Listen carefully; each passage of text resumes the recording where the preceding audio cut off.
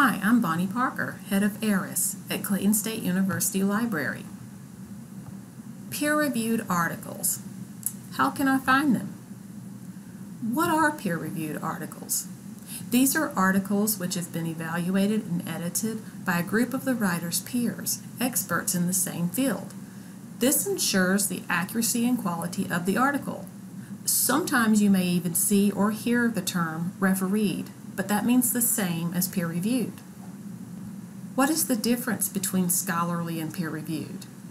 A scholarly article is written by an expert in the field of study, but if the article is peer-reviewed, then it is also sent through the editorial process by peers.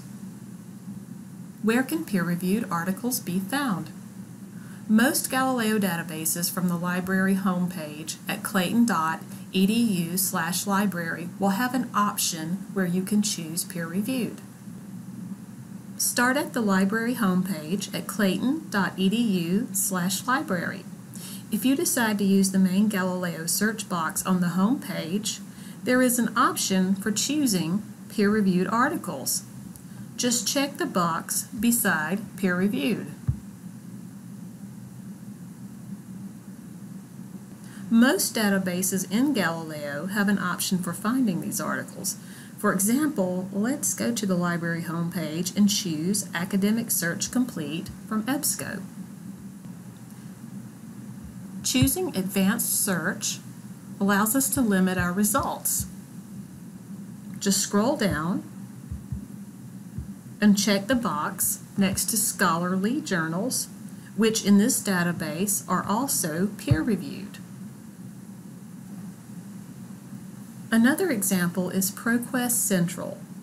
We can get to that by choosing P on the library homepage and then choosing ProQuest Central from the list that comes up.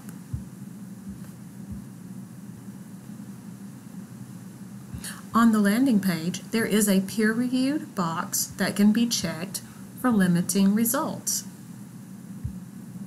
If you happen to forget exactly what that means, hover and choose the I for information and a definition comes up. A special example is JSTOR, which you can choose from the library's homepage.